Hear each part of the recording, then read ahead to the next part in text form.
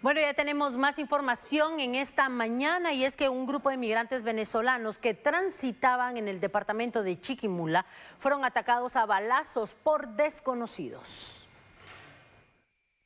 Tres migrantes de nacionalidad venezolana fueron atacados a balazos por tripulantes de un vehículo tipo pick-up en el kilómetro 169.5 en la ruta que de Chiquimula conduce hacia el municipio de Esquipulas.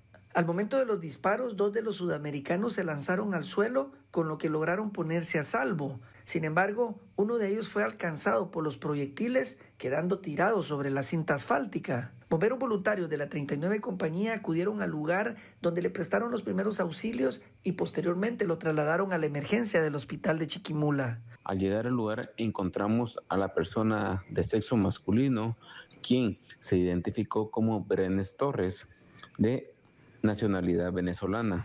Esta persona presentaba una herida de bala en lo que es la pierna izquierda, por lo que se procedió a brindarle los primeros auxilios, estabilizándole la lesión y posteriormente fue trasladado hacia la emergencia del Hospital Nacional de Chiquimula.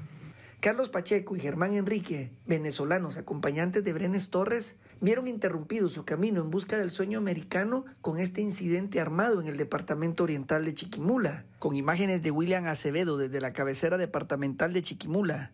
Omar Vázquez.